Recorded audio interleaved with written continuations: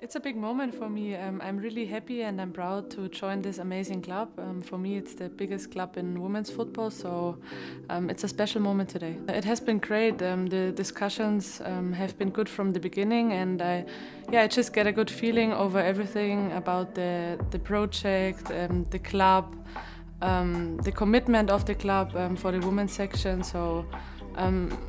it was special from the beginning, and yes, I, I took the chance to come here.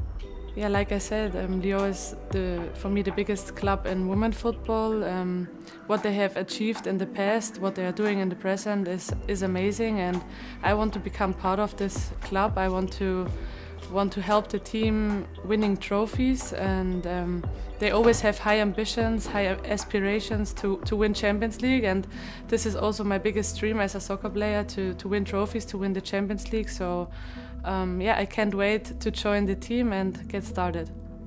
It's nice that I already know some of the players. I know Maro from the national team, I know Perle, I know Chris, and I know Signe from um, PSG. We play together, so it's nice that I already know some of the girls. It makes it a little easier, and also before I could um, yeah talk to some of the girls and ask some questions.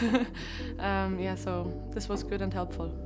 Uh, my ambition in the long term with the club are um, to win trophies to help the team and also yeah to grow as a player and as a human being.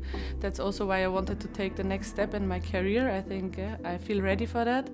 And um, when i'm on the pitch i always want to get better and yeah give my best on the pitch and become a better player and also develop um, on a personal level uh, the first impressions of the club facilities are really amazing. I mean, I've been here for um, playing some games, so I already know the stadium, but um, the stadium is amazing and also the facilities around, um, training pitch, um, then the city as well, Lyon is beautiful, so I think uh, I will feel uh, very comfortable here.